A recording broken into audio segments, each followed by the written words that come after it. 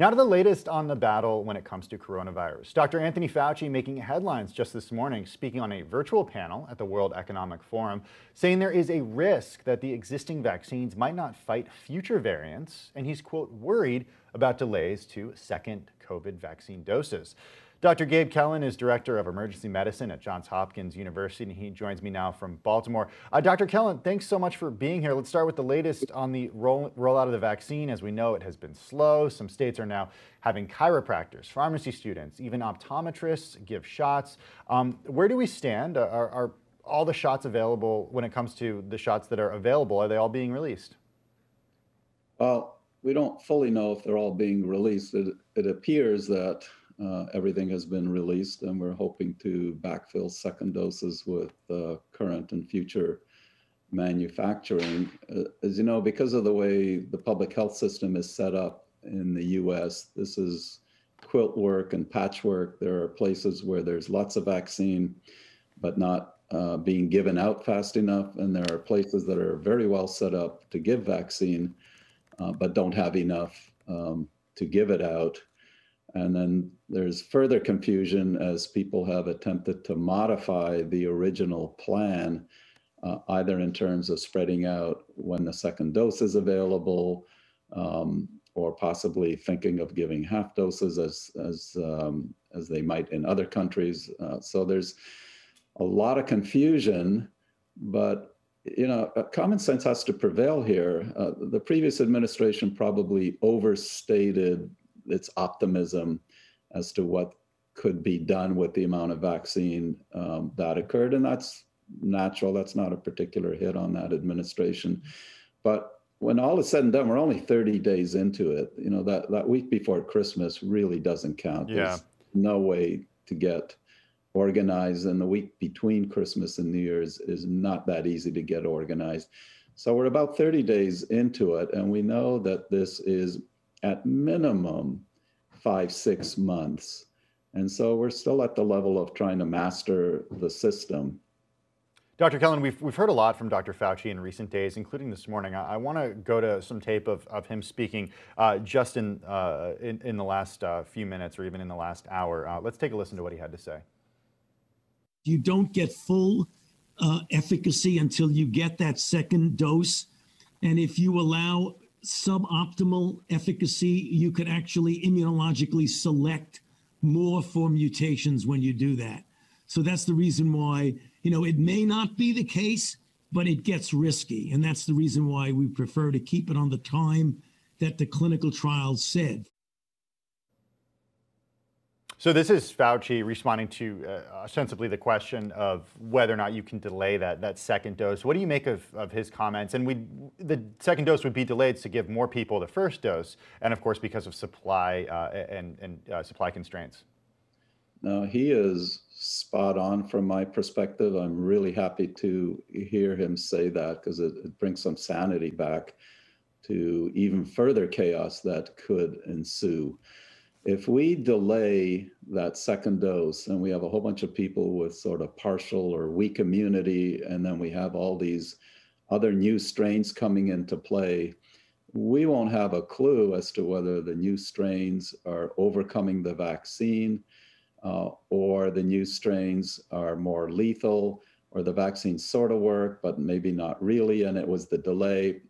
You know, we picked the, we picked something we know that works we need to stick to it. I, I share his perspective. What about the, the concern that existing vaccines might not actually fight future variants if we're, if we're thinking down the road uh, when it comes to this pandemic? Well, that's another reason to stick to the timeline um, because the more this is spread out and um, you know these variants come into play and you have partial immunity, it is a very, very smart virus. Uh, it'll select for mutations when you only have partial immunity. He's, he's absolutely correct that over time, uh, other mutations will come about. And hopefully, um, new vaccines, this mRNA technique is pretty quick to develop. New vaccines will come, and this will be more or less like a seasonal flu vaccine. At this point, do you think people who have been infected should get the vaccine, Dr. Kelen? And the reason why this is a question is because people who have been affected should have immunity to a certain extent for a certain period of time because they have the antibodies. Right. Um, so that's a bit of a controversial subject. At the very least, those already infected um, should generally wait three months, and it's almost like you're you're getting a booster. Mm. Um, you do have some natural uh, immunity, and it should and it should actually be uh, pretty good. So, given that someone has been infected and they have natural immunity, there's great thought being given to well, let other people go first when there's such a huge demand for first doses right now. I'm wondering when it comes to these mutations, main differences between the, the South Africa and Brazil mutation versus the mutation coming uh, out of the UK and, and the implications around vaccination. So, by all accounts, the mutation uh, that came out of the UK, which is now found in at least 22 states, and we seem to be adding one or two any given day, the current uh, mRNA vaccines, Pfizer, Moderna, by all accounts, seem to work for that, even though it's more con- more contagious.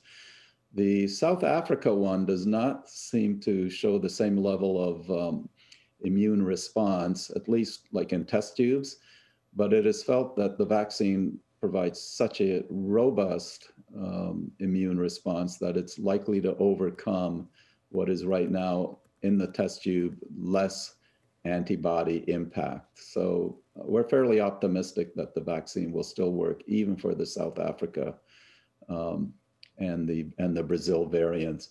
What we're even more concerned about is well, if you get this type of mutation, and we don't do this properly, right, we're going to get even more lethal or more difficult mutations, and then we're starting almost all over again. Uh, the Biden administration has this plan and goal of 100 million shots in, in 100 days, in the first 100 days. But I got to tell you, um, according to the Bloomberg Vaccine Tracker, in the last week, an average of 1.16 million doses per day were administered.